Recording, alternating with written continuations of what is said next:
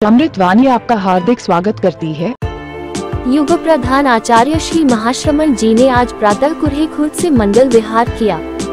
गत शाम पूज्य प्रवर यहाँ पधारे थे। जन कल्याण करते हुए महाराष्ट्र में गतिमान शांति दूत अब सूरत चातुर्मास हेतु विहार रथ है।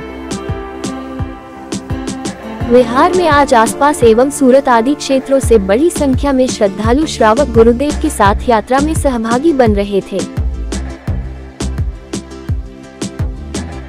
मार्ग में मंगलदेव गृह मंदिर में गुरुदेव ने पधार कर मंगल पाठ प्रदान किया।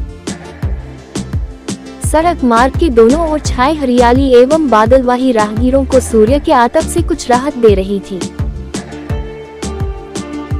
गुरुदेव के आगमन से उल्लसित जैन समाज ने भक्ति भावों से आराध्य का अभिनंदन किया। लगभग 20 वर्ष बाद अमलनेर में आराध्य के पदार्पण से हर्षित सकल श्रावक समाज जुलूस द्वारा शांति दूत का स्वागत कर रहा था। लगभग 10 किलोमीटर का विहार कर आचार्य Shri L T Mundla global view school में प्रवास हेतु पधारे।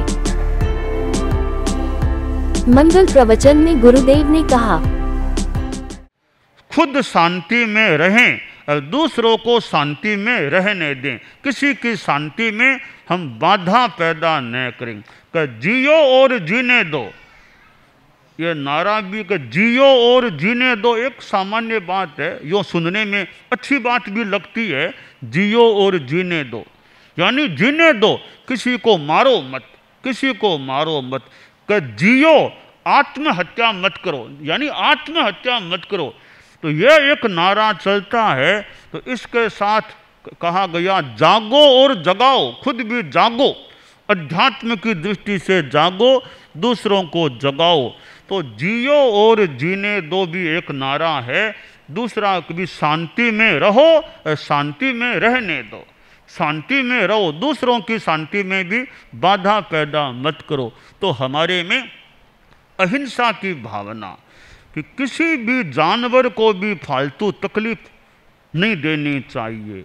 चाहे कबूतर है, कुत्ता है, उनको भी हमारी ओर से बिना मतलब तकलीफ़ नहीं पड़नी चाहिए। तकलीफ़ देने का प्रयास न करें, आदमी को भी तकलीफ़ न दें।